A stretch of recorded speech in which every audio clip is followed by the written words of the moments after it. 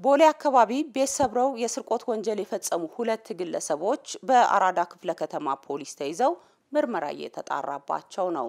ረዳት ሳጅን ፍጹም በቀለ ዝርዝር አለው።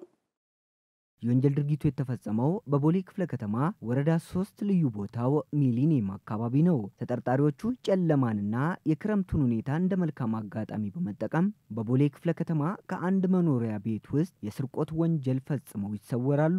በአራዳ ክፍለ ከተማ ወረዳ አንድ ልዩ ስሙ ዮሐንስ ቤተ ክርስቲያን አካባቢ ህብረተሰቡ በሰጠው ጥቆማ መሰረት ከተሰረቁ የውጭ ሀገር ገንዘብ፣ ላፕቶፕና ሌሎች እቃዎች መያዛቸውን የራስ ደስታ አካባቢ ፖሊስ ጣቢያ ወንጀል መርማሪ ሳጅን ዮናስ ቡቼ ገልጸው በተለይም በክረምት ወቅት ህብረተሰቡ ጥንቃቄ እንዲያደርግ መልእክት አስተላልፈዋል።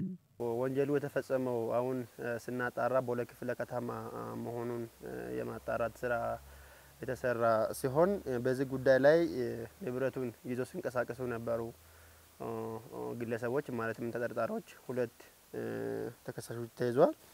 በዚህ ጉዳይ ላይ ይዞ ሲንቀሳቀሱ የነበሩ ንብረቶች በርካታ ናቸው። ሰዎች የሚሄዱ ከሆነ እዛ አካባቢ ላይ ያለው ሰው ሊሄድ ነው ይውልኝ ማታ እንደዛ ነገሮች ስላለ ወይ የዛ ቦታ ሄጄ ስለሚቆይ ወይ አድረስ ስለሚመጣ ብታዩልኝ ተብሎ እንኳን ለሰዎች ተነግሮ ቢከድ አንድ ነገር ነው። ሰዎቹ አሁን የተዘረፈ ያለው ሜዳ ላይ ያለው አይደለም፣ ግቢ ውስጥ ተገብተው ነው እና ሰው ብዙ ጊዜ እንደዚህ አይነት ልማድ ቢኖረው ስማቸውንና መልካቸውን የማናሳያችሁ የግል ተበዳይ ከአዲስ ፖሊስ ጋር በነበራቸው ቆይታ እንደገለጹት የጠፋው ዕቃ ይገኛል ብለው እንዳላሰቡና ለፖሊስም ጥቆማ እንዳልሰጡ ገልጸው ሕብረተሰቡ የወንጀል ድርጊት ሲፈጸምበት ለፖሊስ ጥቆማ ቢሰጥ ወንጀልን መከላከል እንደሚቻል ገልጸዋል።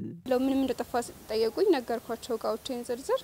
ከዛ መተሽ check አድርጊ ያሉኝ። ስመጣ ሁሉም የተገኙት እቃዎች የኔ ነበሩ እና በቃ በእርግጥ